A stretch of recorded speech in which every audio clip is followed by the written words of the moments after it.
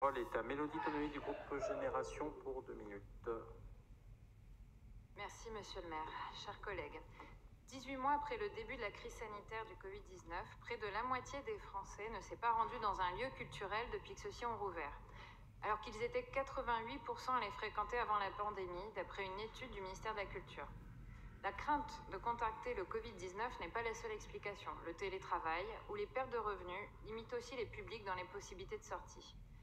Plus préoccupant encore, plus de 10% des personnes interrogées déclarent qu'elles se rendront désormais moins dans les lieux culturels, même lorsque la pandémie sera définitivement terminée. Une partie des publics assure enfin qu'ils privilégieront désormais les moyens numériques pour accéder au contenu culturel. Ces nouvelles habitudes sont-elles une tendance pérenne? Il nous faudra encore quelques mois pour observer les conséquences de la pandémie. Elles doivent cependant nous questionner dès à présent sur l'offre culturelle de nos établissements et sa rencontre avec le public.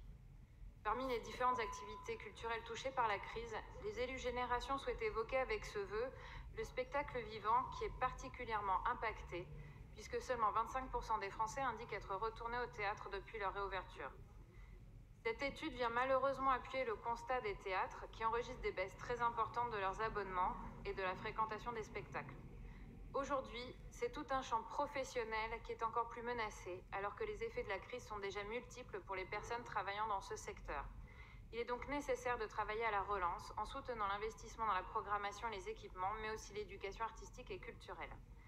Les élus générations sont disponibles pour soutenir l'action de la ville de Paris en ce sens, et en particulier les réflexions entamées par Karine Roland, adjointe en charge de la culture, avec les professionnels du secteur. C'est le sens de notre vœu, faire face aux évolutions en cours et à venir, et répondre aux attentes du public, notamment en expérimentant de nouveaux dispositifs dans des établissements culturels pilotes. Merci.